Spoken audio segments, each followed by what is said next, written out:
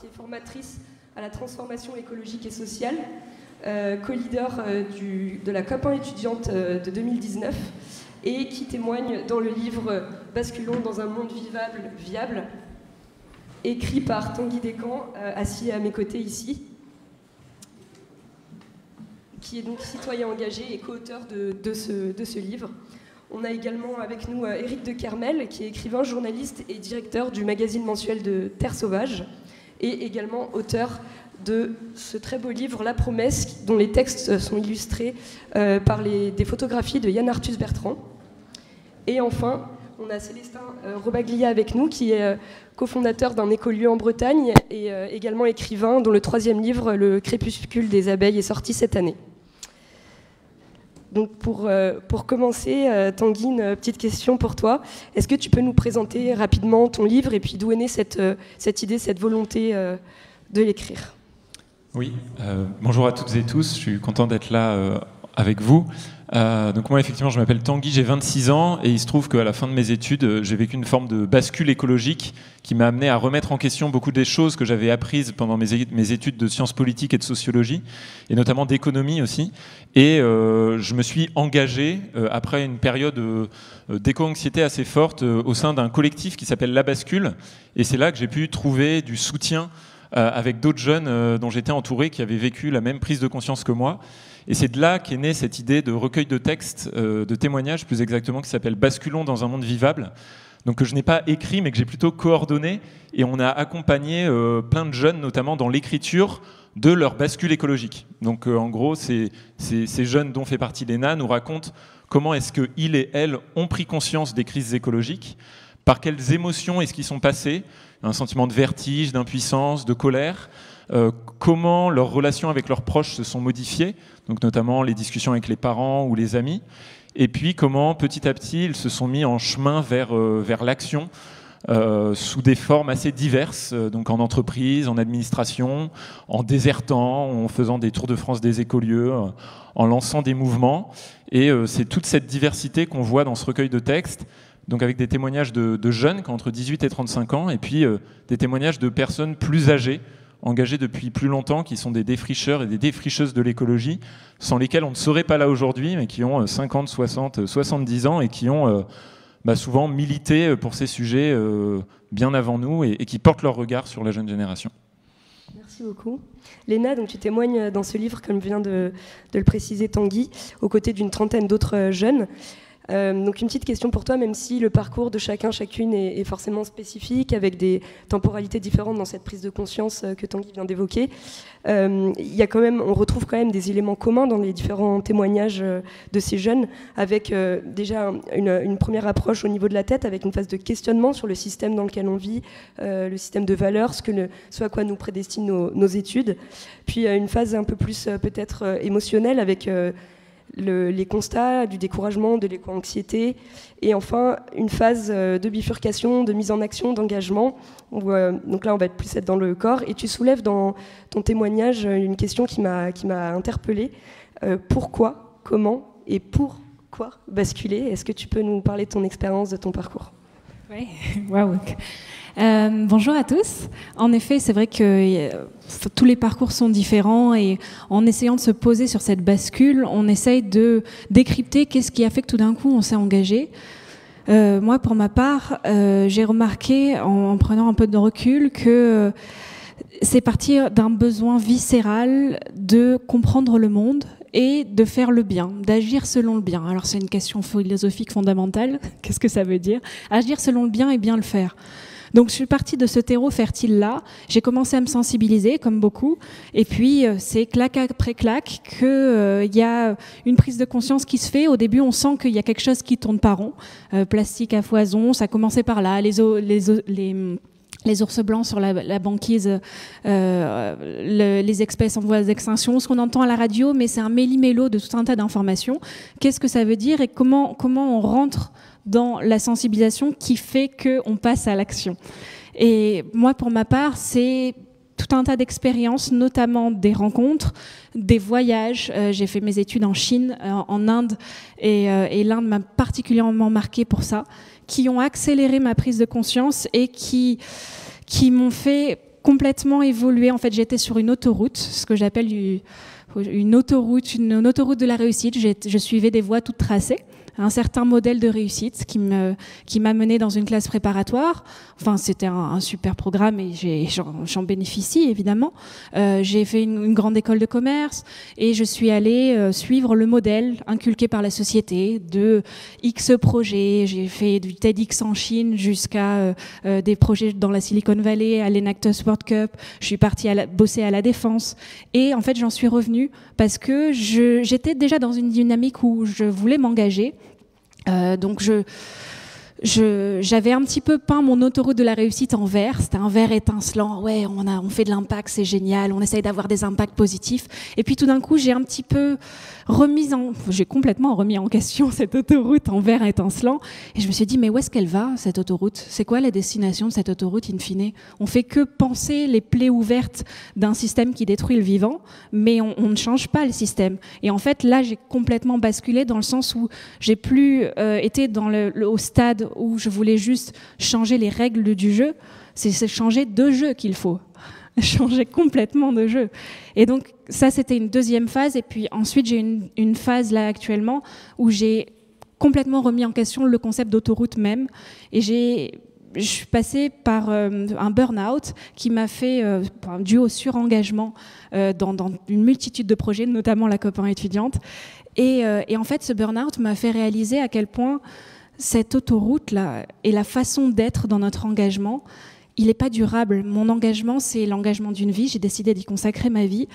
Et pour tenir sur la durée, c'est un marathon. Et pour ça, il faut prendre soin de soi. Donc j'ai décidé de muter cette autoroute, de sortir de l'autoroute pour le coup, en questionnant non pas juste la destination, mais le chemin, la façon d'y aller. Et du coup, je suis désormais sur un chemin qui, je l'espère, dans mon métier, en tout cas, je, m'y attelle tous les jours, dans mon métier euh, et, dans, et dans ma vie euh, personnelle, à incarner ce, nouveau monde comme je le peux et, euh, et embarquer plus de monde. Merci beaucoup.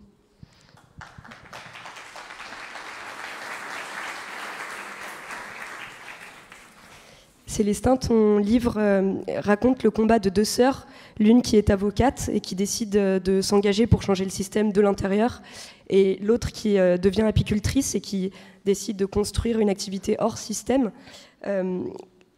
Euh, ton, récit donc s'attaque à un, gros sujet, à une atteinte au vivant, et il illustre bien aussi la nécessité d'unir la diversité des luttes tu mêles euh, fiction émotionnelle avec une narration qui, nous, qui tient en haleine euh, le lecteur tout au long du, récit et une réalité aussi scientifique et juridique de difficulté aussi de faire appréhender ce, ces, combats. Euh, est-ce que tu peux nous dire d'où est venue cette, cette envie d'écrire sur ce sujet spécifiquement et, et comment tu t'y es pris aussi pour mêler l'aspect fictif et des éléments réels? Bonjour. donc depuis euh, une vingtaine d'années, je suis euh, très. Euh, euh il y a une vingtaine d'années, j'ai eu cette bascule de cette conviction qu'on allait, qu'on était à une crise totale de notre civilisation et qu'il était nécessaire de, transformer radicalement les choses. Alors j'ai commencé par le faire à mon échelle, ce qui finalement représente la, l'une des deux sœurs. Et, euh, tout ce temps-là, les choses se sont en fait aggravées. La, prise de conscience a augmenté, ça, fait quand même un temps de recul, d'observation, mais les choses globalement euh, se sont nettement aggravées. Et une question fondamentale dans ma vie, c'est pourquoi, euh, malgré les évidences scientifiques, malgré beaucoup de solutions évidentes, on, persiste à se nuire à ce point, on persiste dans une direction euh, aussi, aussi suicidaire? Et donc l'envie d'écrire là-dessus, elle est venue de là, et donc vraiment, elle s'inscrit dans cette démarche de récit. Euh, j'ai vraiment vu les récits arriver les uns après les autres. Il y avait le récit du colibri, il y a eu le récit collapso, plein de, de manières d'essayer de toucher, les, de toucher les personnes de manière différente, avec soit le côté alarmiste ou des côtés beaucoup plus euh, attrayants, comme le film Demain. Et voilà, donc moi j'ai voulu trouver une, autre forme, enfin, mettre ma pierre à cet édifice de, chercher des nouveaux récits. Et donc, euh, mon, principe euh, structurel, ça a été de, partir d'une euh, justement d'une structure littéraire grand public. Donc, je suis sur un thriller judiciaire, et mais de construire toute mon histoire ensuite sur des, faits précis, chiffrés, sur des études scientifiques précises que mon histoire, que le principe de procès me permet d'inclure dans des logiques de suspense et pas dans des logiques qui pourraient être plus pesantes pour certains, euh, comme dans les essais. Donc c'est vraiment euh, cette idée d'amener la, matière de l'essai dans, un roman populaire euh, pour ouvrir à un autre public et dans, dans cet espoir en fait que les les bascules vont, s'accumuler euh, et peut-être qu'à un moment, il y aura suffisamment de bascules pour que, en termes de société, on soit, on soit capable de faire un autre choix. Parce qu'il y a des, le, choix personnel, euh, c'est-à-dire un peu la voie du colibri, elle est accessible à tous dès maintenant. Mais là, on a besoin vraiment d'une autre vision de société, d'un autre choix de société. Et et il faut passer un cap pour ça. Donc, j'ai pas l'impression qu'on en, qu'on en, soit encore proche, mais euh, j'espère que c'est pour bientôt. Merci.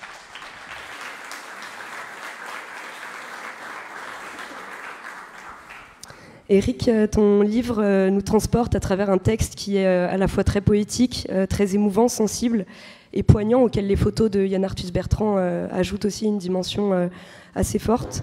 Euh, tu abordes notamment dans ton, dans ton livre dans ton livre, pardon, la puissance de l'amour et la question de l'enjeu essentiel euh, de l'intergénérationnalité dans ces luttes euh, pour l'écologie.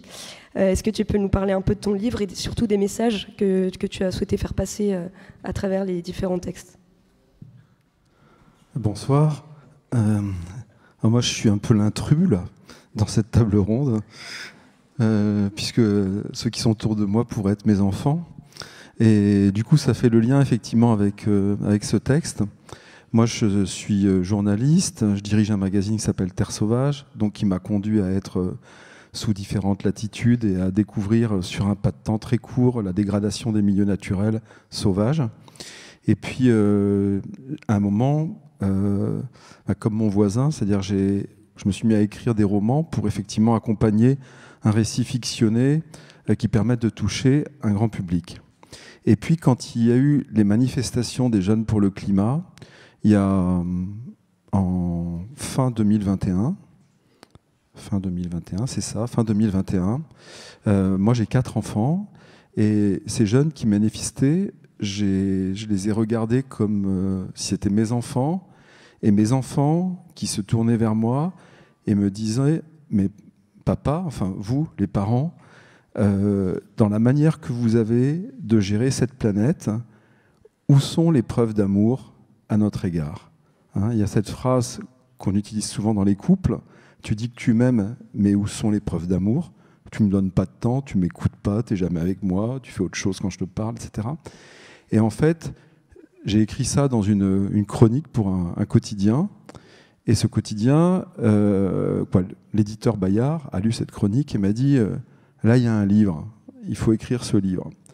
Moi, je voyais pas du tout le livre, je savais pas comment m'y prendre ni rien, mais il se trouve donc que c'était euh, début décembre 21, et donc à Noël, j'ai écrit ce texte d'un G, enfin je veux dire en dix jours, sur la base de ce que je viens de dire là, et qui était effectivement qui, réinterrogeait fondamentalement notre rapport aux autres, à la Terre, et qui partait de ce constat que on a quelque chose qui petit à petit, euh, mais je rejoins complètement ce que disait Léna sur euh, ce fameux autoroute, sur le problème, c'est pas les règles du jeu, c'est le jeu. C'est qu'aujourd'hui, notre jeu, c'est pas un jeu amoureux avec la Terre et avec la génération de nos enfants. Et donc, du coup, on dit parfois, hein, euh, alors ça n'arrive heureusement quasiment jamais, enfin en tout cas peu en Occident, dans d'autres pays ça arrive, qu'on serait prêt à mourir à la place d'un de nos enfants s'il le fallait. Mais dans notre attitude vis-à-vis de la planète, c'est pas du tout ça ce qu'on fait.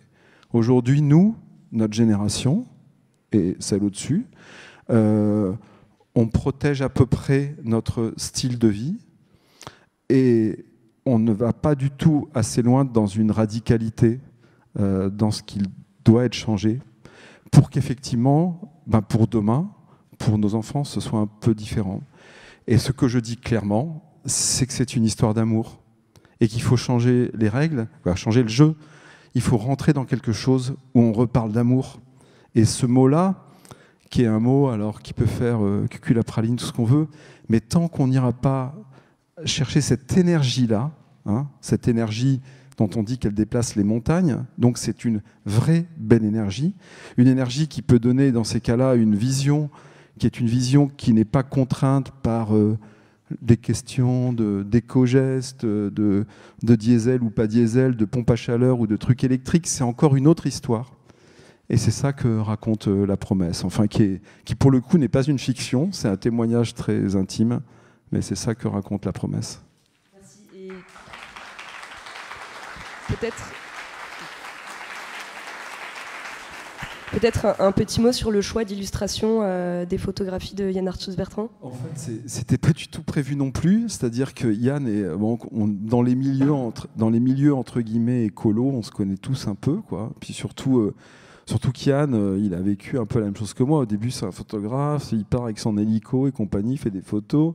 Et puis à un moment, il se dit Ouh là là, mais je suis déjà venu ici il y a trois ans. Il y a trois ans, c'était quand même mieux. Donc à un moment, ça provoque chez lui euh, une bascule et de se dire Mais je peux pas juste faire des photos, quoi. Et du coup, je fais une fondation, etc.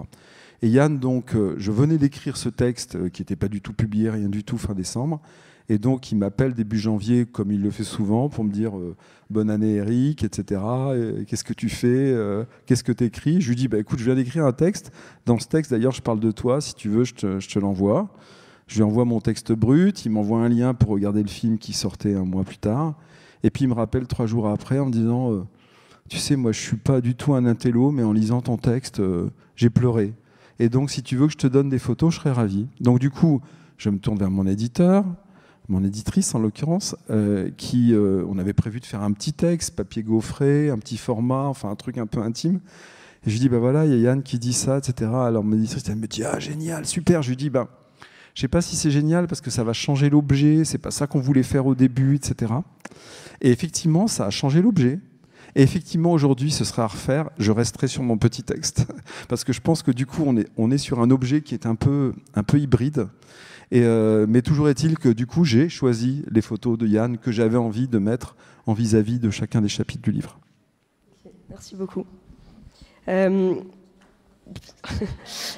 le petit. Euh, euh, donc, là, j'ai une question pour, euh, pour tous les quatre. Donc, je vous laisserai répondre comme vous le souhaitez, mais ça fait un, joli lien avec ce que tu viens de nous dire, Eric, et notamment sur ce message de l'amour comme, comme une des solutions pour unir aussi nos, nos forces dans, ce combat de l'écologie.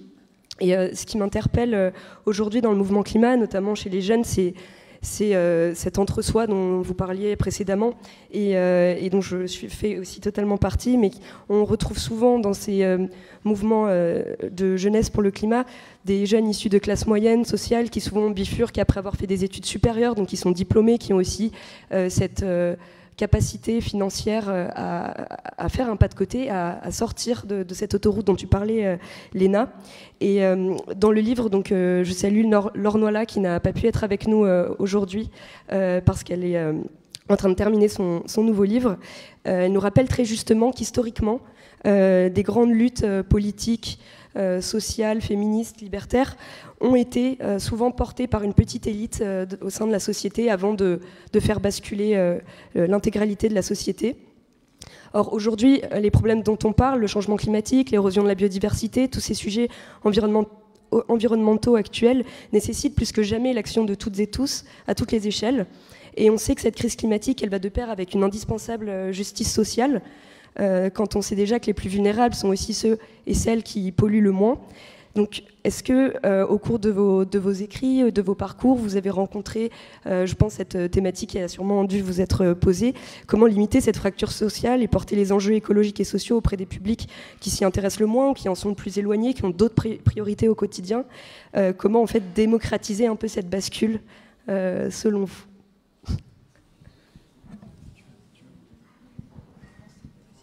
Ok.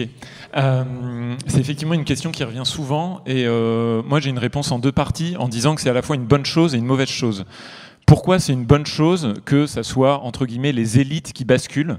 Parce que comme tu l'as dit, plus on est riche, plus on a un impact environnemental négatif et donc plus on a de responsabilité à changer son mode de vie.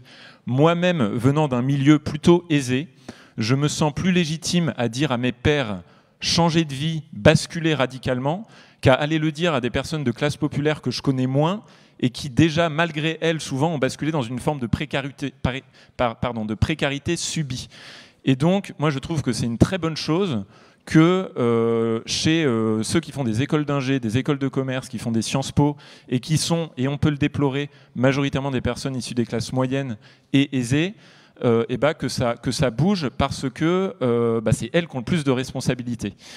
Et d'ailleurs, il y a une minorité de, euh, de ces personnes-là qui basculent. Aujourd'hui, moi, quand je vois dans mon entourage, on a quand même des personnes qui préfèrent rester dans leur confort, qui n'ont pas trop envie d'interroger leur mode de vie.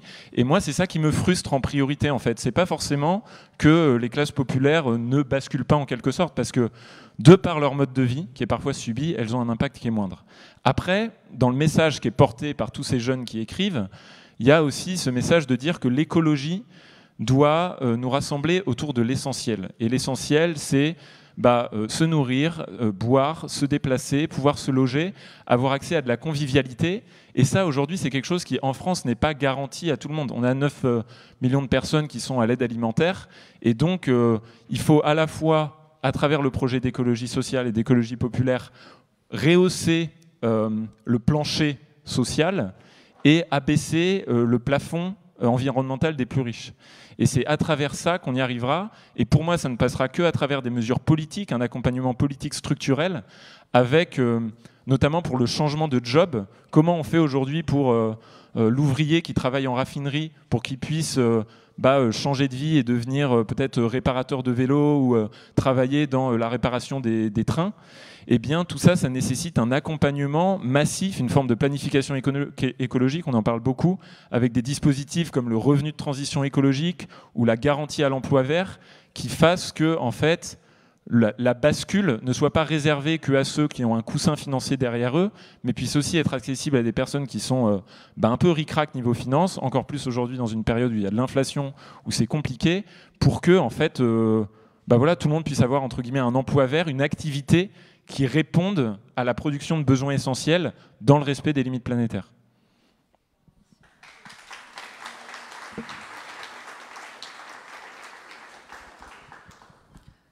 Oui, Tanguay dit beaucoup de choses auxquelles euh, je suis complètement d'accord, pour lesquelles je suis complètement d'accord. Je, me demandais en l'écoutant si, euh, là on parle du terme de bascule, si euh, on vient d'en discuter un petit peu, mais si tout le monde dans la salle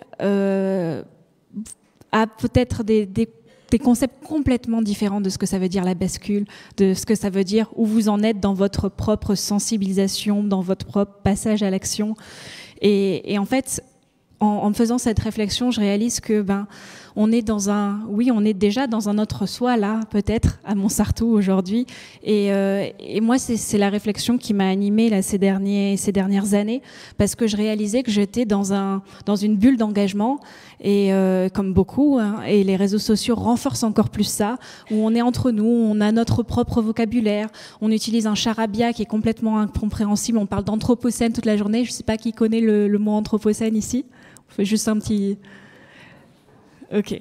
C'est juste un, petit sondage, mais voilà, il y a quand même beaucoup, beaucoup de monde. Pour les autres, on expliquera. Mais euh, c'est un écueil pour moi dans lequel il est très, très important de ne pas tomber, tout simplement pour rattacher les wagons de la société.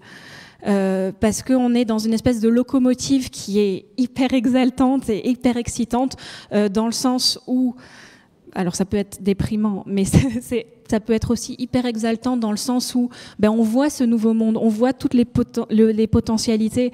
Moi, j'ai l'impression au quotidien que je, suis parfois euh, dans un que je suis en train de vivre les lumières de mon époque. Euh, je suis en train de vivre une remise en question telle philosophique sur tous les plans euh, que voilà, ça me dépasse et je trouve ça merveilleux. C'est ça qui me donne la force d'agir face à la difficulté des, épreuves qu'on est en train de traverser. Mais je, ressens aussi que je suis dans cette locomotive parce que est-ce que les autres ressentent ça? Est-ce que les autres voient, euh, ressentent que je suis en train d'être, de passer dans les lumières de mon époque? Non, on voit la catastrophe, on voit, euh, on parle de catastrophisme, on, on voit le sommet de l'iceberg, mais on voit pas toutes les initiatives qu'il y a derrière, on se sent pas porté par tout ça. Donc comment rattacher les wagons? Moi, c'était ma réflexion des dernières années de comment aller vers le grand public. Alors, c'est peut-être pas euh, l'objet de tout le monde, peut-être que tout le monde n'est pas doué pour ça. Euh, moi, en tout cas, c'est mon truc euh, parce que ma famille, mes amis, mon copain n'est pas forcément très engagé. Et, et du coup, c'est voilà, c'est une volonté de d'essayer de vulgariser tout ça, d'en parler, et puis d'aller à la rencontre des, gens, de leurs problématiques, et d'essayer de comprendre un peu. Enfin voilà, nous on avance d'un notre côté, mais qu'est-ce qui se passe dans le reste de la société et de pas arriver avec euh, avec une posture de donneur de leçons qui est, qui est, vraiment insupportable.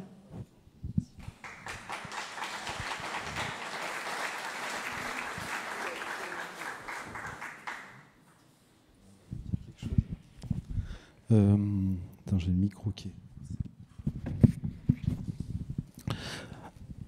euh, ouais, moi je voulais dire quelque chose parce qu'effectivement, il y a un moment, Tanguy l'a dit, euh, il y a quand même une question qui est, est purement politique. Alors d'abord, un certain nombre d'éléments ont prouvé que quand il y a 20% d'une population qui bascule, elle entraîne le reste, dont on n'est pas obligé d'avoir 51%. Et on le sait dans plein de domaines. Hein. Je veux dire, si on faisait aujourd'hui euh, un, référendum pour ou contre l'avortement en France, il est possible qu'il y ait plus de 50% des Français qui soient contre l'avortement. Et pourtant, à un moment, il y a effectivement quelque chose qui se passe au niveau social, et donc un mouvement qui fait que derrière, il y a une possibilité de bascule, et il y a un politique, entre guillemets, qui s'empare avec le problème des calendriers politiques qui sont extrêmement courts, donc qui sont absolument pas adaptés à la question écologique. Je veux dire, quand le but c'est de se faire réélire dans cinq ans, ça fausse tout le jeu, j'allais dire, notamment par rapport à la question écologique. Mais il y a bien un moment où effectivement cette pression, les 20%, d'où qu'ils viennent, ils permettent ensuite que tout ça se mette en route. Après, on voit bien aujourd'hui que, que ce soit la question du Covid, que ce soit maintenant la guerre en Russie, euh, la plupart du temps, ce qui se passe et qui provoque des vrais changements, c'est quand il y a des crises graves qui fait que là où théoriquement on n'avait pas les moyens, tout à coup, quel que soit le prix, on a les moyens. Là où tout à coup on n'arrivait pas à faire aucun changement en termes de baisse de consommation d'énergie, bah, tout à coup on va tous faire 10%, 20%, 30%. Donc du coup, c'est triste à dire, mais le défaut d'anticipation, il est souvent rattrapé par des éléments euh, non prévu, mais qui nous ramène euh, à nos réalités. Et on le voit aussi dans sa vie individuelle. C'est-à-dire que souvent, dans nos vies individuelles, ben, on a une vie qui va à peu près bien, puis tout à coup, il y a un petit accident de parcours, un accident de santé, un accident professionnel, un accident amoureux, un accident qui fait que tout à coup, on se dit, oulala, ça va plus du tout. Et là, c'est cet accident qui devient la crise au sens chinois du terme, hein, donc opportunité finalement d'ouvrir euh, un nouveau chemin qu'on n'avait pas ouvert avant. Ça, c'est mon premier propos. La deuxième partie de mon propos, c'est la question de l'écologie au sens euh, euh, global.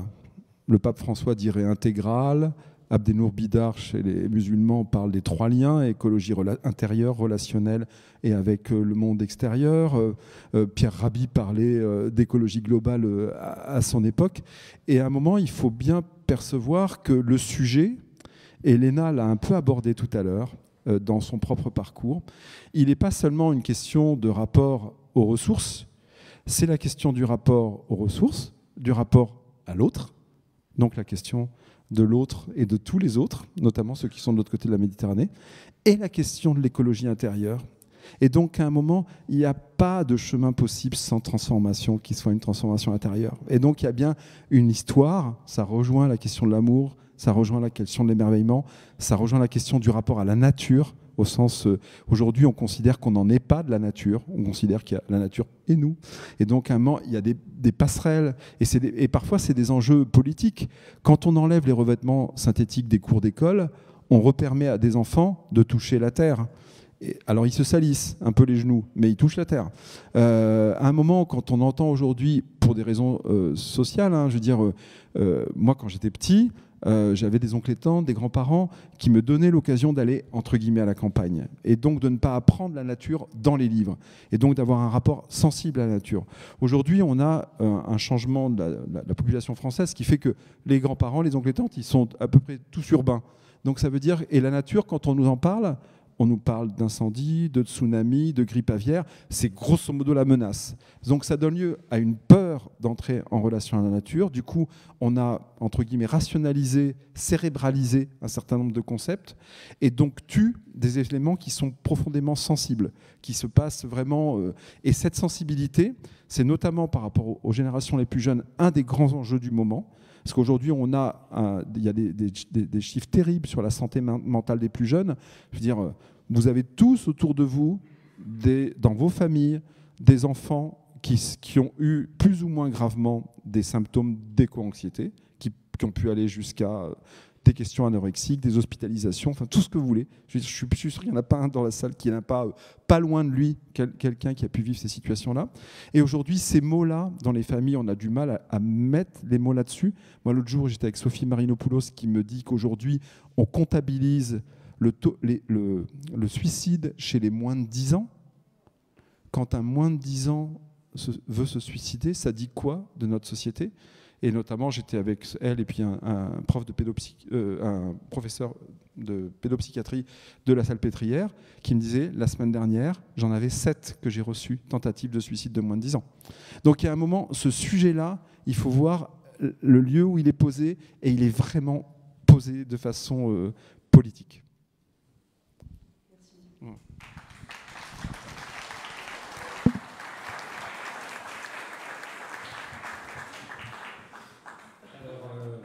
Comme euh, vous trois, c'est une question que j'ai énormément euh, retournée dans ma tête et qui me semble euh, très complexe parce que dans ma perception, les, grandes structures de croyance de notre époque vont toutes dans une logique de progrès et de croissance, c'est-à-dire qu'on prenne l'humanisme, le capitalisme, mais aussi le communisme.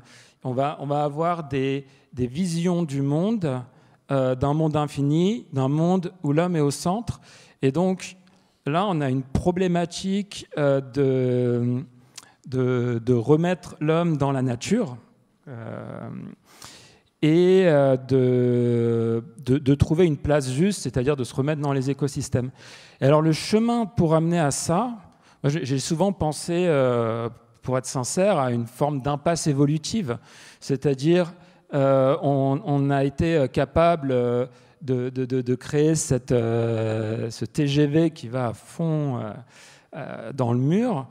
Et pour en sortir, ça demande une, modification profonde de notre rapport au monde, de notre vision de la société. ça, demande des efforts, c'est-à-dire que l'imaginaire de, général de décroissance, parce que moi, mon point de vue, c'est que la, décroissance peut être en grande partie absorbée déjà par une optimisation, c'est-à-dire juste en arrêtant de gaspiller, on, peut avoir, on pourrait avoir les mêmes choses avec beaucoup moins de dégâts. Elle pourrait être aussi en bonne partie absorbée par euh, la, réduction assez drastique euh, des, euh, du mode de vie des, des, très très aisés. Mais en fait, ça ne suffirait pas. Euh, et, là, il y a quelque chose euh, à modifier à tous les niveaux. Et euh, le faire, quand on a fait la bascule, on peut, on peut avoir cet élan vraiment. Moi, je l'ai vraiment ressenti. Mais ça, ça, demande une abnégation qui est d'autant plus difficile que on vit avec les symboles de la finance, de la politique, qui nous montrent qu'ils font exactement l'inverse, qui est aussi euh, d'autant plus difficile parce que ça demande un niveau de coopération, c'est-à-dire de se mettre ensemble, de faire les choses ensemble. Et, faire quelque chose, faire sa part du colibri pour reprendre ça, quand tous les animaux se barrent de la forêt parce que ça crame, c'est un peu contre-intuitif en fait. Euh, et donc, je ne suis pas pour autant complètement pessimiste, parce que euh, je, crois euh, à cette idée qu'à un moment, le, les points de bascule seront suffisants, qu'on parlait d'un avenir vivable. en fait, il n'y a pas un avenir pas vivable et un avenir vivable. On a déjà plus l'avenir qu'on aurait pu avoir si on avait pris les choses en main il y a 20 ans. Euh, on a déjà pris un degré 2, on a déjà, enfin, tout ça c'est déjà là. Mais pour autant, on sait que l'histoire de la Terre, elle va continuer. Euh, l'histoire de l'humanité, peut-être, dans quelles conditions Finalement, c'est sur, euh, sur ça qu'on est aujourd'hui. et donc, il va y avoir des, il y a des bascules qui se font. Il y a des problèmes qui se manifestent de plus en plus, et ces problèmes créent eux-mêmes des bascules. Et donc pour moi, je pense qu'il y a de, vraies chances que les choses se fassent à un moment, mais à quel moment et avec euh, quel résultat à payer, ça, c'est, je suis absolument incapable d'avoir un avis là-dessus.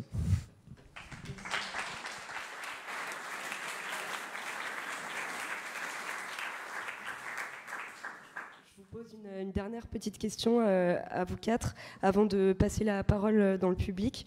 S'engager pour l'écologie, la justice sociale, vous l'avez très bien dit, c'est aussi se responsabiliser, s'émanciper, s'ouvrir à soi, aux autres, à la nature. C'est reprendre du pouvoir aussi en tant que citoyen, citoyenne. Qu'est-ce qui, euh, vous, chacun, chacune, dans votre engagement, vous a le plus apporté ou vous porte en tout cas au quotidien et vous pousse à continuer vos combats à travers l'écriture, à travers ce que vous faites?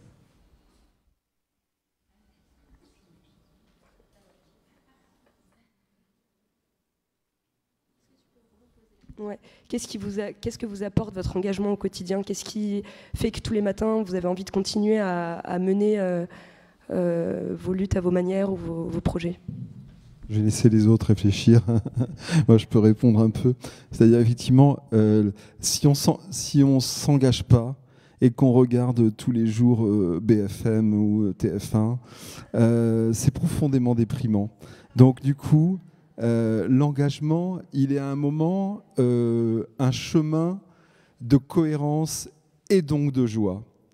Et donc du coup, euh, on voit dans, tous les lieux où il y a de l'engagement, euh, les tiers-lieux, ceux qui montent des écoles alternatives, ceux qui reprennent une ferme, ceux qui montent euh, une librairie, ceux qui créent un festival à Mouansartou, enfin, tous ces gens-là, ils ont la banane. Et donc, du coup, euh, peut-être que, à je sais pas quoi, très long terme, ils n'ont pas réglé le problème de savoir si les Chinois, ils vont ceci ou cela, mais en tout cas, eux, ils ont cette joie-là.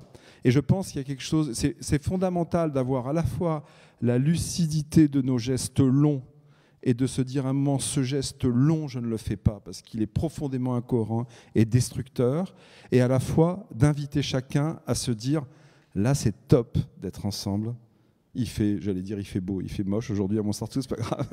Mais je veux dire, c'est chouette d'être ensemble, c'est chouette de boire un coup, c'est chouette d'aller au cinoche, d'avoir une bonne bière. Et du coup, il faut qu'on arrive à tenir ces deux bouts, et notamment par rapport à, ceux qui sont les plus jeunes, qu'on rentre pas dans un espèce de, dynamique euh, doloriste euh, où, il faille euh, se flageller tous les matins au nom des Chinois qui font pas je sais pas quoi, parce que sinon on va pas s'en sortir. Donc pour moi, ce qui fait continuer, c'est simplement euh, la joie.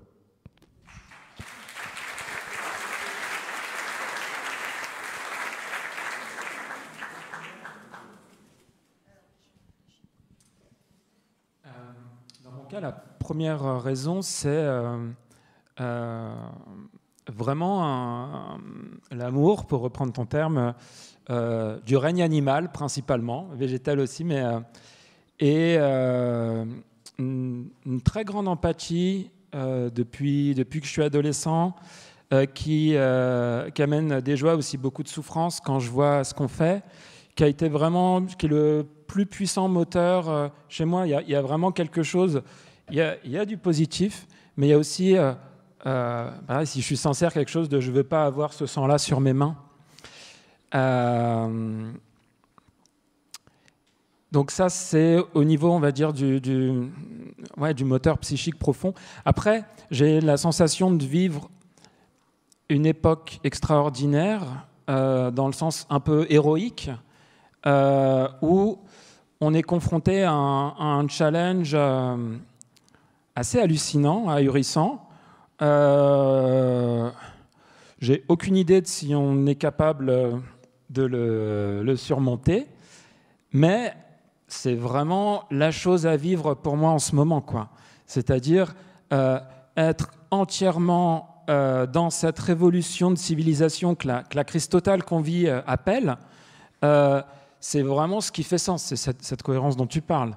Et, effectivement, ça amène à un niveau de cohérence dans la vie de tous les jours qui est nourrissant, qui est profondément nourrissant et qui permet, euh, qui amène la joie, qui compense euh, la tristesse. moi, j'ai aussi une grande, grande tristesse de voir le monde dans cet état. ce qu'on fait à la nature, mais aussi à, nous-mêmes, aux pays du Sud, à la manière dont, dont on se traite. Quoi. Et et donc voilà, ça crée un équilibre et en tout cas, il y a un vrai élan à, participer pleinement, à vivre pleinement ce challenge.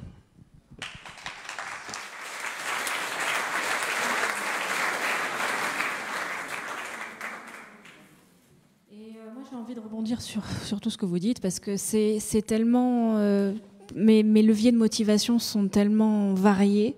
Disons qu'il y a de grands champs émotionnels, euh, des émotions comme la tristesse, comme la rage parfois, euh, lorsqu'on voit les destructions qui sont faites aux vivants, ce qui continue d'être fait.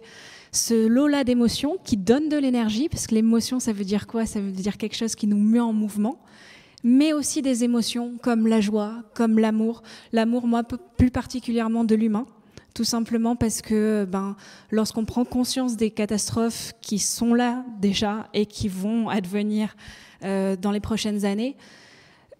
Moi, ça, me paraît insupportable, en fait, juste de, voir une personne qui souffre juste à côté de moi. Et cette prise de conscience du potentiel de souffrance de l'humanité, ben, c'est un énorme moteur.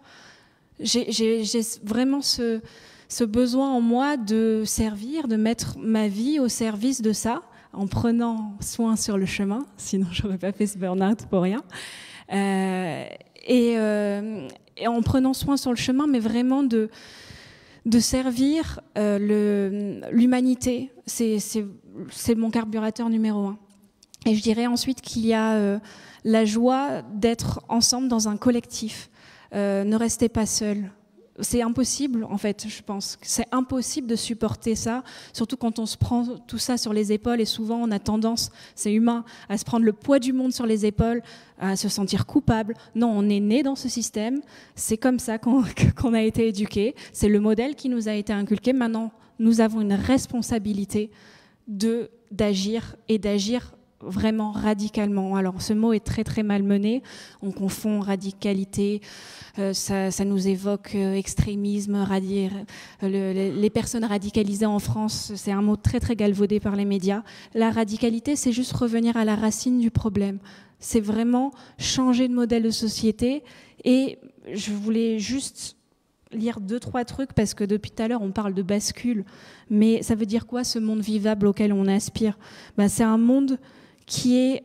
C'est plus un monde infini aux ressources illimitées, c'est un monde fini ressources finies, où les hommes ne sont plus dans des bulles séparées sans impact de leurs actions, mais avec une, une correspondance, euh, une, une, correspondance avec leurs ancêtres et les générations futures. Une correspondance qui est à la fois horizontale et verticale. Verticale, ascendant et descendant, et horizontale dans le sens où moi je me sens en lien avec une, population qui souffre à l'autre bout du monde parce qu'ils euh, ils sont sous des inondations au Pakistan Ça, c'est une autre humanité qui est développée là. Un autre monde où la nature n'est plus un décor immaculé, mais la nature est, c'est, voilà, nous sommes une partie de la nature. Donc, lorsque nous manifestons, lorsque nous sommes dans la rue, nous sommes la nature qui se défend. Nous ne sommes pas là en train de défendre la nature. Un autre monde, c'est un monde où ben, la, croissance économique n'est pas la seule voie parce que ce n'est pas juste notre PIB qui doit être le premier. Est-ce que la finalité, c'était autre chose C'était l'épanouissement de l'ensemble des vivants, humains compris? Est-ce qu'on est pourrait avoir un monde où la redistribution équitable des richesses pour tous, ça existe vraiment? Où la technologie n'est pas toujours, euh, est toujours au service de l'amélioration de la condition humaine? Un monde où ne persistent plus les dominations et les violences des uns sur les autres, et un monde où l'avoir et l'accomplir écrasent. L'être et le devenir, non, ça on n'en veut plus. On veut l'être et le devenir avant l'avoir et l'accomplir. Donc voilà un petit peu, ça c'est des moteurs incroyables pour moi, de réaliser tout ça et de se dire, ben, quand j'ai évoqué tout à l'heure le fait de se sentir dépassé par une cause qui est, qui est juste un changement de civilisation, ben ça, c'est un moteur qui est, hyper puissant et je pense qu'une grande part de la population ne voit pas ce, moteur-là. Et donc, c'est à nous de trouver des récits adaptés pour donner cette force et, euh, de mm, donner cette force sur les récits. Et je reprends mon, deuxième point avec du collectif, avec des gens qui sont là et qui sont motivés par la même puissance, par le même moteur, parce que tout seul, on n'y arrive pas.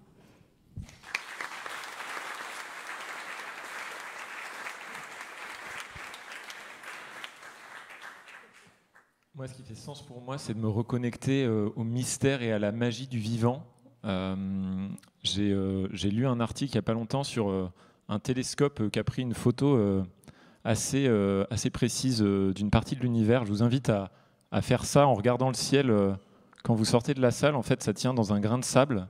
Il a pris une photo qui représente un grain de sable quand vous regardez le ciel. Et donc sur cette photo, vous avez des milliers de galaxies. Et donc, euh, nous, on est une de ces galaxies qui est dans un ciel du coup encore plus grand. Et dans cette galaxie, il y a la Voie lactée. Et dans la Voie lactée, il y a le système solaire. Et dans ce système solaire, on a notre Terre, notre petite Terre si précieuse sur laquelle on est tous. Et en fait, moi, c'est en me reconnectant à cette espèce de, sentiment de vertige que je me dis que la vie, c'est quand même un truc ouf et, euh, et qu'il faut en prendre soin, en fait. Et en fait, c'est vraiment ça, en fait, qui me fait me reconnecter à, au sens de mon engagement et au fait que la, que la beauté du monde, que la beauté de la vie soit accessible au plus grand monde. Voilà.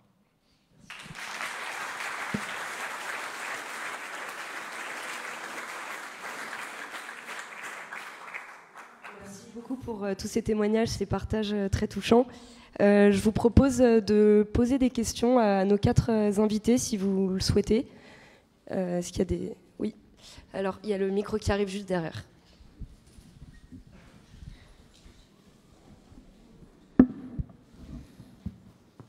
Euh, merci, merci, bonjour et merci. C'est pas une question en fait, c'est juste une remarque. Euh, je trouve qu'il fait super chaud dans la salle, quoi. Donc euh, voilà, c'est peut-être difficile de baisser le chauffage techniquement ou éteindre un spot sur deux, une petite action comme ça, voilà quoi. Il fait 25 degrés là, par exemple. On parle d'écologie.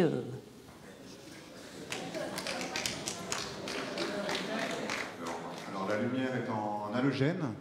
Et en fait, c'est la chaleur humaine qui fait. Euh, voilà. Il n'y a aucun.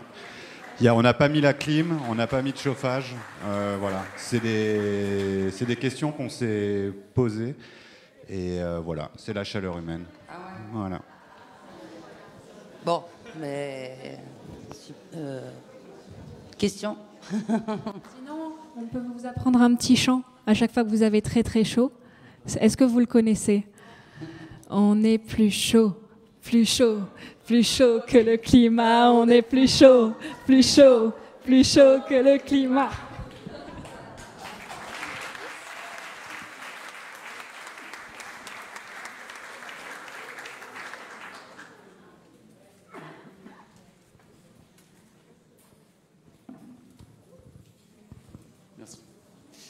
Bonjour, merci pour cette conférence.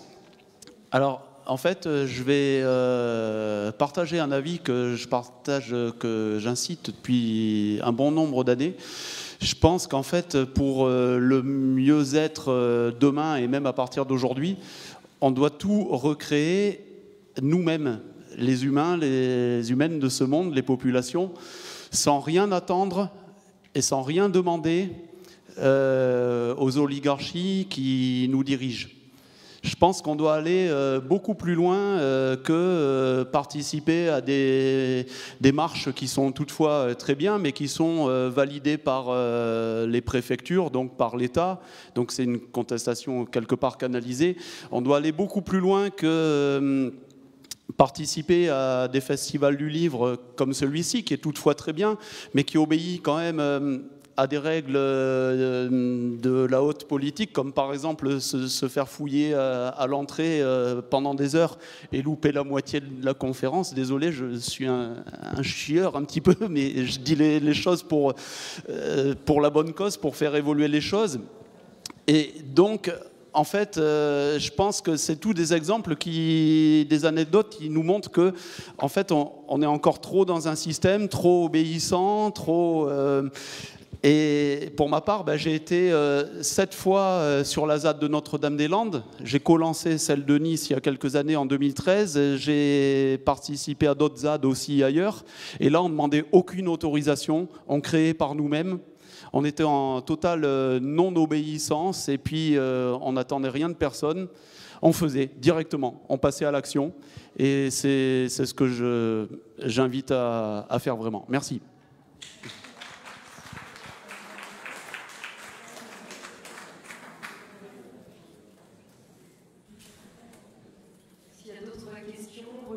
Euh, oui.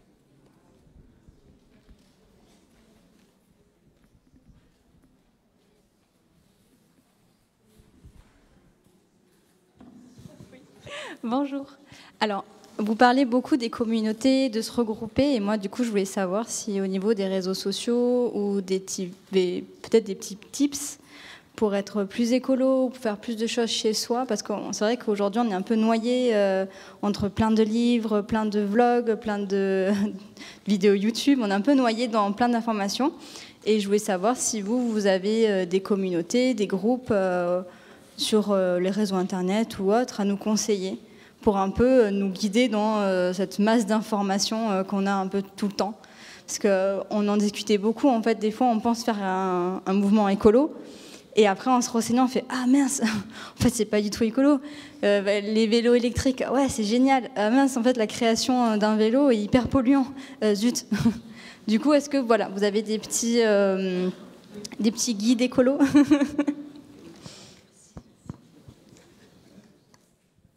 Moi, je peux te parler de trois communautés.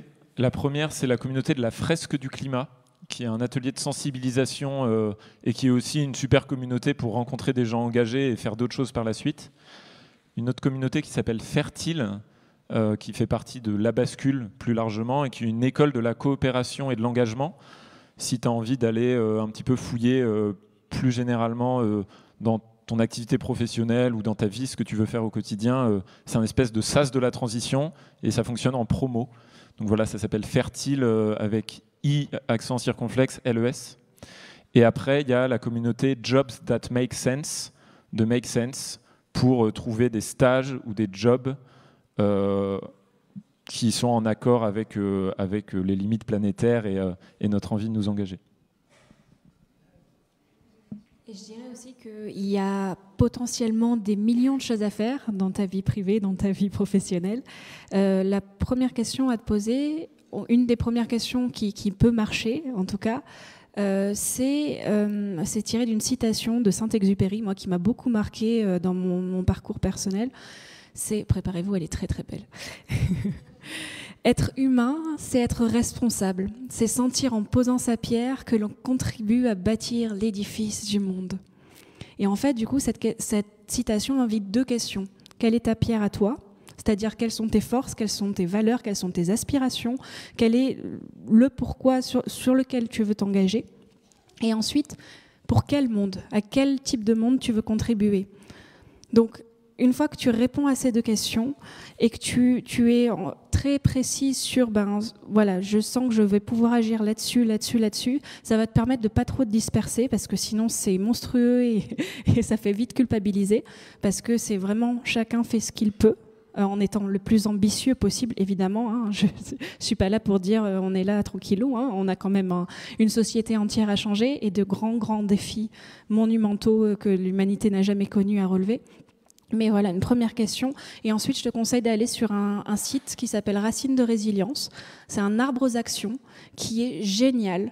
Pourquoi? Parce qu'il décrit toutes les enfin beaucoup d'actions potentielles dans plein de domaines différents. Et à chaque fois qu'il y a une action qui va potentiellement te parler, tu vas pouvoir trouver l'association en lien. Il y en a plein d'autres évidemment, mais en tout cas, ils ont référencé au moins une association, au moins un acteur, une organisation qui agit sur ce domaine-là.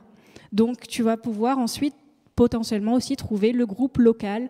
Euh, je te conseille d'aller proche de chez toi parce que sinon ça va être très très compliqué et tu vas, tu vas te perdre dans l'engagement. Le plus proche, dans ton quartier. Euh, donc ça c'est une bonne solution. Et sinon on va sur le site transiscope.fr. Transiscope.fr, il y a pareil plein d'initiatives locales.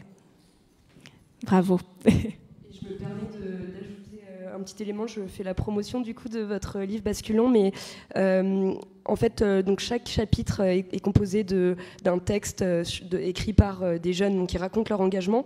Et en fait, il a été demandé à ces personnes de, de proposer quelques ressources clés. Donc il y a des livres, des des podcasts, euh, des, réseaux sociaux. Euh, voilà. Donc, euh, bon, je fais la promotion du livre, mais c'est une pépite de, ressources proposées par chacun, chacune. Et les récits avant d'engagement permettent aussi de peut-être s'identifier aussi à des parcours de vie et du coup de s'orienter sur ces ressources-là. Bon, je fais la promotion. Et une autre ressource aussi, bon, on pourrait continuer longtemps comme ça. En termes, en termes de vidéos, il y a une plateforme qui s'appelle Imago, qui est 100% gratuite, I-M-A-G-O. Euh, c'est une plateforme qui recense plus de 3000 vidéos, docu, podcasts de la transition. Donc il y en a sur tous les thèmes et c'est hyper riche.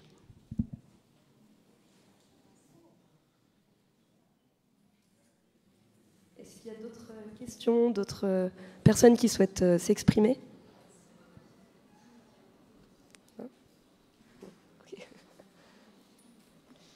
Euh, moi, j'avais une, autre question alors euh, à vous poser euh, pour vous laisser peut-être un petit temps de réflexion si vous le souhaitez. je voulais savoir, enfin, je voulais vous, donner à chacun l'opportunité, si là vous, on, imagine que sur les réseaux sociaux, il y a plein, plein, plein de jeunes qui nous écoutent et des moins jeunes. quel est le conseil que vous leur donneriez ou un élan pour aller vers cette bascule? Déconnectez-vous des réseaux sociaux.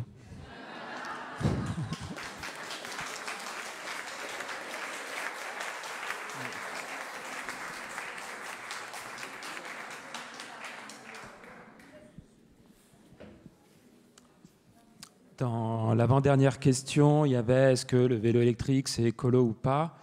Euh, Moi, ce que je me suis rendu compte, c'est que on, est dans une société où tous les besoins primaires ont, été structurés de manière à ce qu'ils soient profondément destructeurs. On se nourrit, donc c'est vraiment, on se nourrit pour se nourrir et on va euh, contribuer à euh, une chaîne euh, de, maltraitance au niveau de la nature, au niveau de l'humain, à, plein plein d'endroits qui va être effrayante, le textile. Enfin, vous prenez chaque aspect, c'est pareil. Et, et, on est né dans ce monde-là pour faire quelque chose d'entre guillemets vraiment écolo il faut être un ermite. Et donc, euh, pour moi, c'est nécessaire de se replacer, euh, parce qu'on vit dans la société, euh, dans, dans ce, cette phase de transition dans laquelle on vit. Et, et donc de pouvoir hiérarchiser les choses. le vélo électrique, c'est pas du tout écolo si ça remplace un vélo normal, c'est très écolo si ça remplace un voyage en voiture. Et donc, cette, euh, hiérarchisation, euh, donc déjà, cette, cohérence par rapport à. On compare quoi à quoi, et puis de, pouvoir voir vraiment les points clés qui font, euh, qui font changer la bascule. Ce n'est pas du tout le même effet de penser à, éteindre les lumières que euh, de manger végétarien ou euh, de bien isoler sa maison. On n'est pas du tout sur le même effet en termes climatiques. Euh, et donc de pouvoir ne plus penser en termes symboliques, mais qualitatif et quantitatif, être plus précis pour avoir une action beaucoup plus puissante.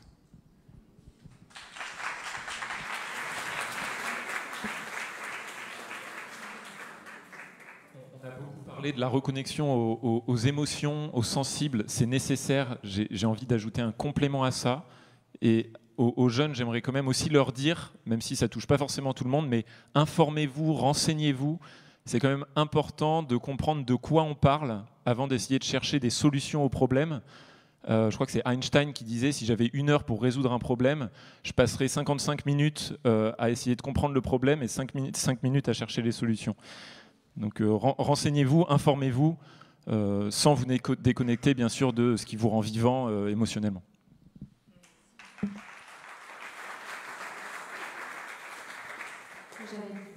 rapide. le premier, c'est déconnectez-vous des réseaux sociaux et allez dans la nature. Là, on est dans des boîtes. Comme disait Pierre Rabhi, on vit dans des boîtes, on va travailler dans des boîtes et on meurt dans des boîtes. On sort même en boîte, vous vous rendez compte Donc, allons dans la nature, premier conseil. et deuxième conseil, conseil, disons, c'est un message. On a tous un pouvoir d'agir qui est énorme. Moi, j'ai pris conscience de ce truc-là. Et en fait, c'est hyper émancipateur. J'ai l'impression que nos, générations, ou en tout cas les personnes qui se sont mises dans l'engagement, on a compris euh, quelque part qu'on pouvait être maître de notre destin collectif. Et ça, c'est hyper fort parce que les générations précédentes euh, se disaient, ben, on va être maître de notre destin individuel. C'est déjà quelque chose d'énorme de plus dépendre d'une société d'ordre, si on reporte dans le passé, ou de dépendre d'un mariage, ou de dépendre d'un job pour lequel on s'engage sur toute une vie. Ça, c'est déjà énorme. Merci toutes les générations passées et toute l'histoire des gens qui nous ont précédés. Mais là, on se rend compte qu'on peut être maître d'un destin collectif. Donc c'est à nous de nous bouger carrément. On a beaucoup, beaucoup de choses à faire parce que je pense pas non plus que ça va venir d'en haut, malheureusement. Euh, donc, il faut, il faut qu'on les force à agir. Il faut qu'on les force à agir, mais on a tous un sacré pouvoir d'agir pour le faire. Et pour cela, il faut qu'on se mette en groupe et en collectif.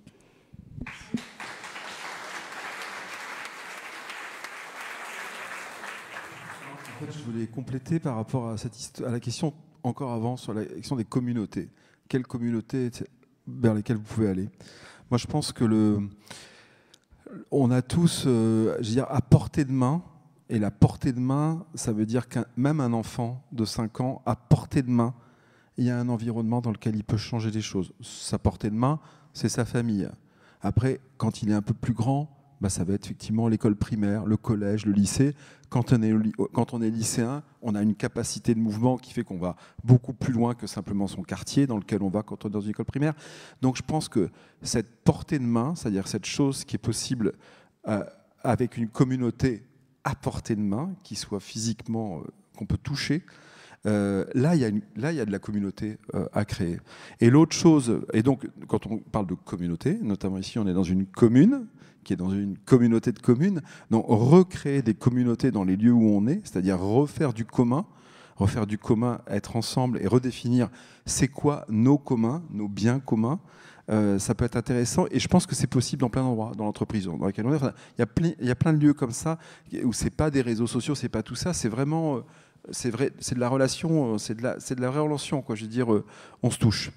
Et l'autre chose que je voulais dire, c'est que dans ce mouvement-là, puisque la question c'était par rapport à des jeunes, moi, les jeunes, effectivement, doivent investir ces lieux-là qui sont, le lieu du travail, etc. Mais il y a un moment, il y a une autre responsabilité qui est celle de ceux qui ne sont pas les jeunes, c'est-à-dire la mienne par exemple, c'est de leur donner les clés aux jeunes. Parce qu'aujourd'hui, ce n'est pas ça qui se passe. Dans les entreprises, chez les élus, etc., il y a des systèmes qui s'autonourrissent où à un moment, on a beaucoup de mal à lâcher euh, la main. Or, euh, je ne sais pas si Einstein, mais je crois que c'est lui aussi, mais qui avait dit à un moment, c'est pas ceux qui ont créé le problème qui vont trouver la solution. Et moi, je pense à un moment, moi je le vois bien, mais tous les jours, avec mes enfants ou quand je suis avec des jeunes, c'est-à-dire qu'ils ont un logiciel, un jeu de jambes, des trucs, je les ai pas du tout. Et ils sont nés effectivement dans ce monde, c'est celui dans lequel ils sont nés. Donc il ne faut pas prêter, notamment aux jeunes, des nostalgies d'un monde qu'ils n'ont pas connu. C'est-à-dire qu'effectivement, on a tous, c'est un peu compliqué, mais c'est comme ça, le référentiel qui est le mien sur les insectes et les oiseaux, moi, mes enfants qui sont nés 30 euh, ans après, euh, je leur parle d'oiseaux, ils n'ont jamais vu. Donc euh, la perte, entre guillemets, ils ne savent pas ce que c'est. Par contre, eux, si dans 20 ans, ils en ont encore perdu, ça va leur faire quelque chose. Et donc il y a un moment où il faut, il faut passer les clés. quoi. Et c'est super indispensable. Et c'est aujourd'hui, c'est pas du tout comme ça que marche la société.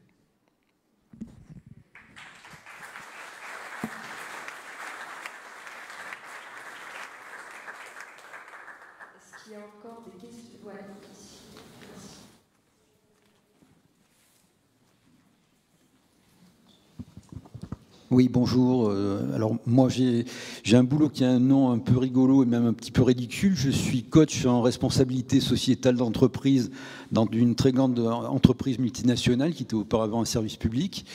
Euh, alors moi j'aimerais un peu vous, avoir votre sentiment sur le sur la récupération un petit peu euh, par les entreprises euh, capitalistes de toute la thématique du développement durable, de l'écologie, de la responsabilité sociétale de l'entreprise.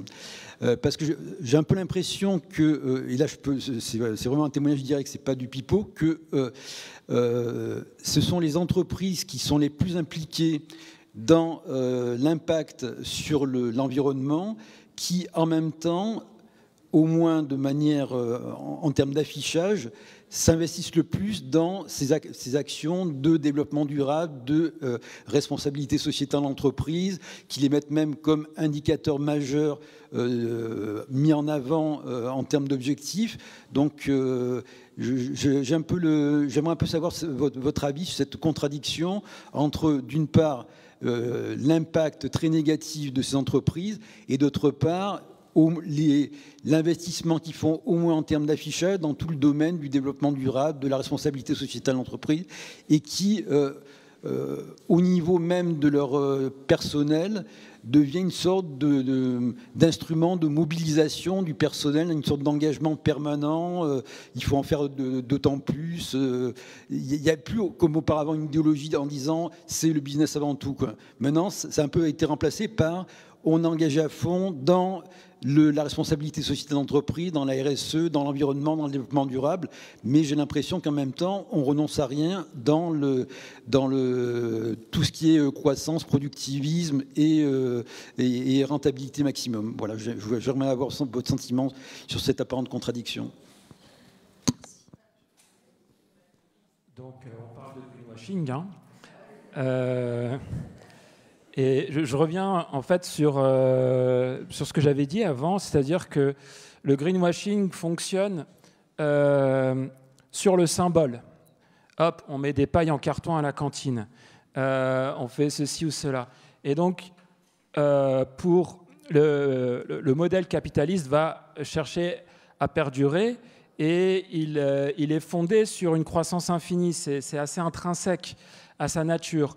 Mais il est aussi polymorphe dans son apparence pour pouvoir euh, s'adapter aux désirs de la population. Euh, et donc, pour gérer cette contradiction, euh, dans ma vision, il, va utiliser le symbole. Il va faire des choses qui vont, qui vont parler, qui vont marquer les esprits, mais qui ne, ne, touchent pas le fond. et donc, la, manière, on peut, ne peut pas attendre d'eux qui fonctionnent autrement. Il, y a, quand même des différences entre les entreprises. Il y en a qui sont plus sincères que d'autres, il y en a qui sont dans des démarches différentes euh, que d'autres, mais c'est pour euh, être lucide euh, par rapport à ces entreprises, c'est de, les évaluer sur la réalité concrète, quantitative de leurs efforts, en faisant complètement fi du symbolique. Euh, ce qui permet de, une, euh, de retrouver une forme de clairvoyance là-dessus, et si elles veulent nous abuser avec du greenwashing, de, de, ne pas en être victime.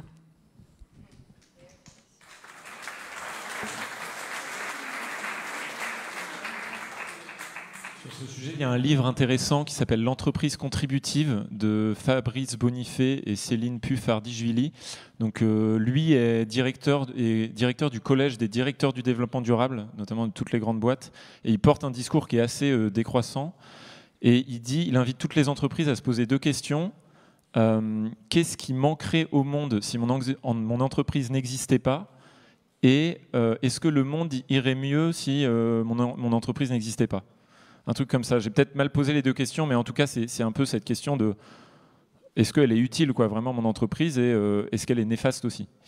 Et euh, j'ajouterai un autre point qui est apporté par le sociologue Bruno Latour, qui est, lié, qui est lié à la question de la valeur. Il dit le problème de notre économie aujourd'hui, c'est que ce qui prime, c'est la profitabilité et pas le maintien des, des conditions d'habitabilité de la planète.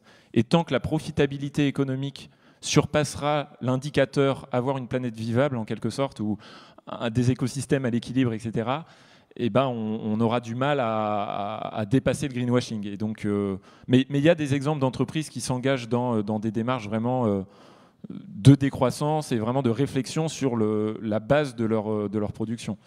Peut-être que vous voulez d'ailleurs en ajouter, je ne sais pas si vous avez des exemples. Je vous laisse un peu sur ma fin avec ma réponse, je sens.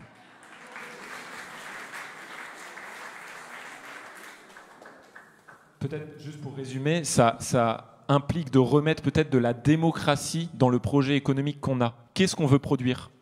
Qu'est-ce qui est essentiel et qu'est-ce qu'on veut arrêter de produire? Peut-être qu'à partir de là, on pourrait se dire ah bah voilà quelles sont les entreprises qu'on garde, voilà celles qu'on change et voilà celles dont on veut plus. Est-ce qu'il y a d'autres questions ou remarques Oui, au fond de la salle. Bonjour, euh, ben, euh, je vous remercie beaucoup euh, enfin, de tout ce que vous avez dit.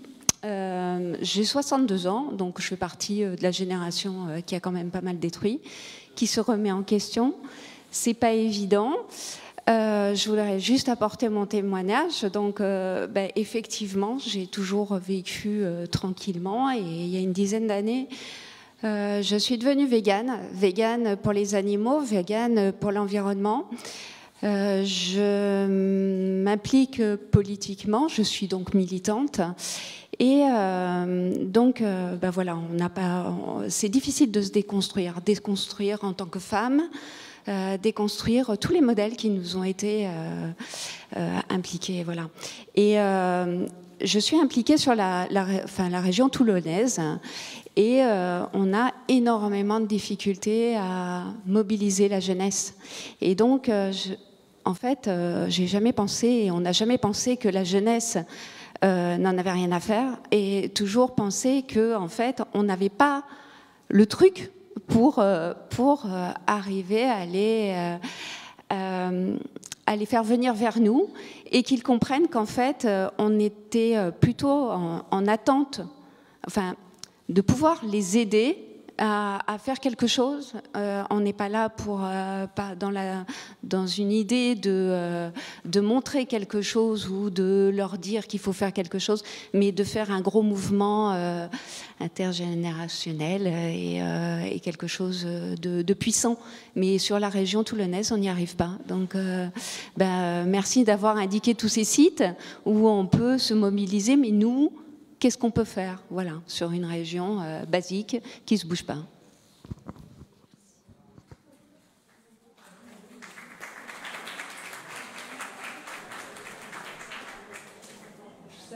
C'est difficile parce qu'il n'y a, pas, une stratégie d'action et que la, la, première réponse qui me vient, moi, c'est euh, quelles sont les problématiques locales? Même si, évidemment, il y a des il y, a, des choses, euh, il y a des choses qui se retrouvent de partout. C'est la première question qui me vient. Nous, lorsqu'on a créé le mouvement des COP étudiantes, on était trois dans un bureau à Sophia Antipolis. Et, euh, et on est parti. maintenant, on, euh, était 2000 sur Paris. Maintenant, c'est un mouvement qui a lieu chaque année. On a rassemblé l'ensemble des plus grosses associations étudiantes de France. Comment on a, fait ça pour parler aux jeunes, des jeunes qui parlent aux jeunes? Si vous avez des premiers, euh, des premiers sensibilisés, déjà c'est un, premier point sur les canaux de communication, les canaux de les réseaux sociaux qui sont un vecteur pour ensuite se rencontrer en physique avec des expériences qui sont à la fois rationnelles pour expliquer les enjeux et se former, mais des expériences aussi émotionnelles pour ressentir dans sa chair la, force de ces enjeux et la force qu'on a personnellement pour s'engager. Il y a de multiples réponses à cette question. Qui suis-je pour, pour, savoir comment engager les jeunes? C'est ma, grande question au quotidien.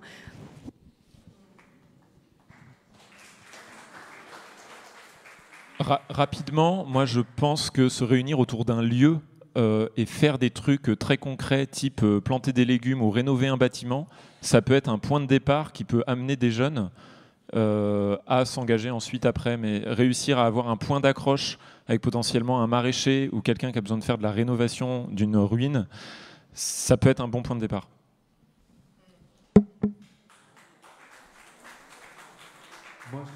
Moi, j'ai été invité euh, il y a quelques années par une association euh, toulonnaise euh, plus, liée à l'Église catholique qui s'appelle la Diaconie du Var et qui font des, un atelier qui s'appelle Gribouille, qui est un atelier de, peinture solidaire entre des gens entre guillemets de classe aisée, puis des gens qui sont de la rue. Ils ont un atelier qui s'appelle La Gargouille, qui fait du théâtre solidaire. Ils accueillent des migrants. Ils sont partenaires. Euh, il y a un an, je les ai retrouvés parce qu'on a créé un festival euh, à la du Toronnet qui s'appelle Les Voix de l'autre, euh, qui fait le lien entre les deux rives de la Méditerranée avec un musicien qui s'appelle Pierce Faccini. Et notamment, on a invité des, par les gens qui s'occupent de l'accueil des migrants à Toulon qui sont venus et on avait des jeunes. Donc, j'ai l'impression qu'il y a quand même des lieux qui existent euh, un peu précis, là, que je suis en train de vous indiquer. Mais bon, encore une fois, c'est une sphère euh, catho. Après, tout à l'heure, vous disiez quelque chose, et, je crois, euh, madame, c'est.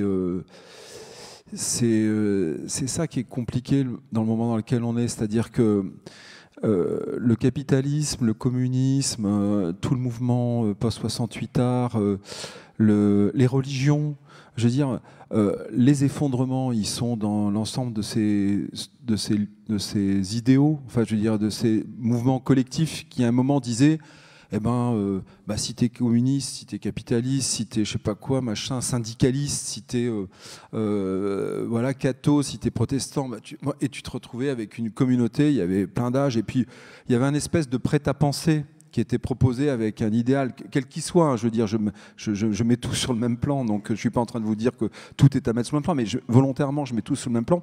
Et du coup, ce truc, euh, on était presque de génération en génération, on était euh, nés communistes, et on, nos parents étaient communistes, et puis on reprenait le flambeau, et puis ou ailleurs, dans un autre champ. Et, euh, et aujourd'hui, la question du récit dont on parlait tout à l'heure, elle est quand même majeure. C'est-à-dire qu'on est dans un moment de profonde euh, invitation à ce que chacun soit libre de tout, de son mode de vie, ses mœurs, son genre, son, travailler, pas travailler, tout ce qu'on veut. Donc je veux dire, donc c'est une fantastique comme époque, parce qu'effectivement, il y a une invitation individuelle à cette immense liberté. Mais ce qui est vertigineux, c'est que du coup, il n'y a pas un petit truc tout fait où on rentre et on dit ben voilà, c'est ça, moi je prends ça et boum c'est pas ça. Même au niveau individuel, le chemin euh, de, chacun de nous, euh, il est même le chemin spirituel quelque part de voir euh, comment est-ce qu'on a sa propre verticalité dans une histoire qui est aussi large que celle qui nous est proposée. On est renvoyé chacun à la création de nos propres quêtes de sens, avec le risque dans ces quêtes de sens de tomber dans un développement personnel centré sur son nombril, et donc de dire, ben, il y a moi, et puis ceux que j'aime, il y en a 4-5 autour de moi, puis on va aller euh, se mettre, euh, trouver une yourte un peu à l'abri du monde, et puis être très loin du monde, et je ne m'occupe pas du reste du monde. Et euh, ce choix-là, moi je comprends aujourd'hui que certains se disent, moi, il, était, il me fait tellement peur ce monde, que je vais juste m'occuper de ça. Euh, et, puis après, effectivement, ce que l'on évoque depuis tout à l'heure, c'est-à-dire euh, ces trois écologies. quoi. L'écologie euh, intérieure, c'est effectivement comment je prends soin de moi, mais à un moment, soit ça va pas très loin, quoi. on est vite limité, soit. Donc c'est la question de l'altérité, c'est la, la question de la rencontre de l'autre. Et l'autre, moi, mais ça m'a, moi, depuis que je suis tout petit, je trouve que j'ai beaucoup voyagé, même petit. Du coup, moi, l'autre, plus il était différent, plus il m'intéressait. Donc j'allais dire, j'étais plutôt intéressé par aller chercher l'autre euh, hyper loin de là où j'étais. Et du coup, mais toutes ces invitations-là, dans le moment dans lequel on est, on est dans un moment où on vous demande rien, hein. personne ne vous demande rien. Hein. Vous pouvez euh, décider de faire ou pas faire. Il y a des pays où on est obligé de voter. Donc euh, la démocratie, c'est si tu votes pas. Donc, euh, et du coup, tout le monde vote. Euh, alors, euh, même, je ne dis pas pour le même, hein, je ne parle pas de, je vous parle pas de, des référendums de Poutine en Ukraine, mais, mais du coup, il y a une démocratie qui fonctionne comme ça, où du coup, tout le monde monde est obligé de. Aujourd'hui, nous, on est dans un moment où tout le monde peut faire absolument ce qu'il veut, comme il veut, etc. Et du coup, c'est passionnant, mais c'est vertigineux. Et toutes les idéologies, elles sont par terre. Je veux dire, les effondrements, ils sont par terre. Euh, l'entreprise, tout à l'heure, vous parliez, on parlait, de l'entreprise, monsieur. Aujourd'hui, les grandes entreprises dont vous parliez, elles ont tout un énorme problème. C'est que les jeunes, ils n'ont plus du tout le même rapport à l'entreprise. Moi, je vois dans la boîte dans laquelle je bosse, ils n'ont plus du tout le même rapport à l'entreprise que leurs parents. Euh, au bout d'un de, an, ils disent Oh, moi, je commence à m'embêter, ou je sais pas quoi. Bon, Ok, bah, euh, un an déjà. Euh, L'autre jour, moi j'ai eu quelqu'un qui m'a dit Mais ah, moi je veux pas du tout être en CDI, hein. je veux être en CDD parce que je veux pouvoir passer à autre chose. Bon, avant, nous, ma génération, on rêvait tous du CDI, quoi. Hein. euh. Et donc, et, aujourd'hui, il vous dit Non, non, moi j'ai une vie personnelle, hein. donc j'ai des amis, je veux faire du sport, je veux faire l'association, etc. Or, avant, bah, nous, on bossait, on bossait, et je pense que les jeunes, ils ont aussi vu leurs parents quelquefois, après 30 ans de bons et loyaux services dans les grandes entreprises dont vous parlez, se fait foutre, dehors à 55 ans. Et du coup, à un moment, le rapport au travail, ils ont dit bah, Moi, il ne m'intéresse pas trop ton rapport au travail, donc je vais faire autrement. Donc il y a quand même, au niveau des entreprises aujourd'hui, des choses qui changent, notamment grâce aux jeunes. Et les entreprises, elles savent plus vous avez vu tous ces mouvements de, grands diplômés qui ont dit Ah non, non, mais nous, euh, no way, votre histoire là, on n'y va pas du tout. Hein. Ah, bah, nous, on comptait sur vous pourtant, hein, chez Vinci, chez Veolia, et on ne sait pas trop comment. Et du coup, tout ça, c'est la bascule dont on parle depuis tout à l'heure. Elle, se fait, euh, elle se fait vraiment, notamment dans ces boîtes-là, parce qu'ils ont un gros problème de recrutement des jeunes.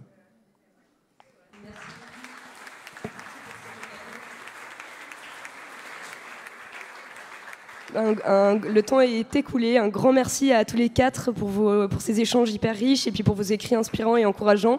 Et euh, simplement une petite information, il y a une session de dédicace euh, en sortie de session des trois livres avec euh, très certainement la possibilité aussi de les acheter, j'imagine. Et encore un grand merci à chacun et chacune d'entre vous.